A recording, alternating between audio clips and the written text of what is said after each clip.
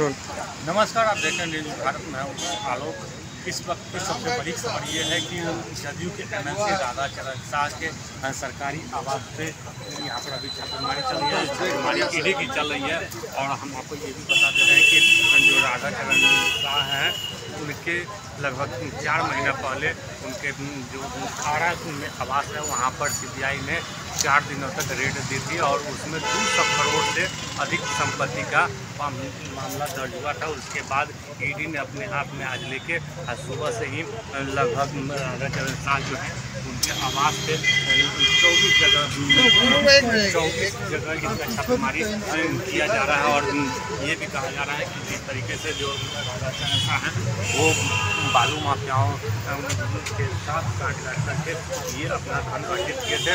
उसके बाद जैसे ही जदयू में ये पहुँचे जदयू की थी, उसका इंफॉर्मेटिव बनाया गया था। तो उसके बाद ईडी ने सीबीआई ने सबसे पहले इनके जो आरा है आरा स्थित आवास पे छापेमारी किया और वहाँ पर लगभग चार दिनों तक सीबीआई ने गहनता से पूछताछ की और कई तरह के कागजात उनको मिले हैं। उसके बाद लगभग दो सौ करोड़ से सेठ के यहाँ छापेमारी चल रही है और प्रशासन भी जो है की जो टीम है, वो अंदर पहुँची है। तो इस वक्त की बड़ी खबर पटना से निकलकर सामने आ रही है कि ईडी की टीम है, वो यहाँ पर पहुँच चुकी है और छापेमारी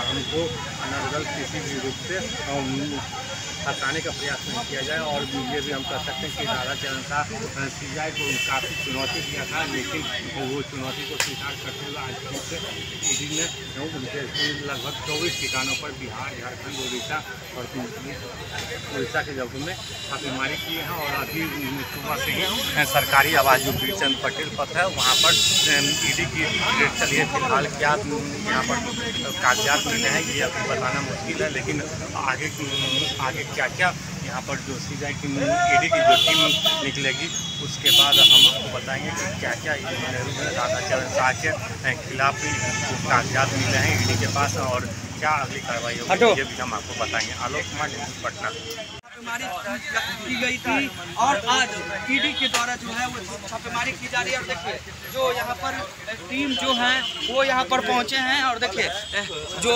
जाँच, जो ईडी के जो जाँच करने पहुँचे हैं, वो उनके लोग हैं, वो भी यहाँ पर पहुँचे हैं। तस्वीरें हम लगातार दिखा रहे हैं, जिस तरीके से राधा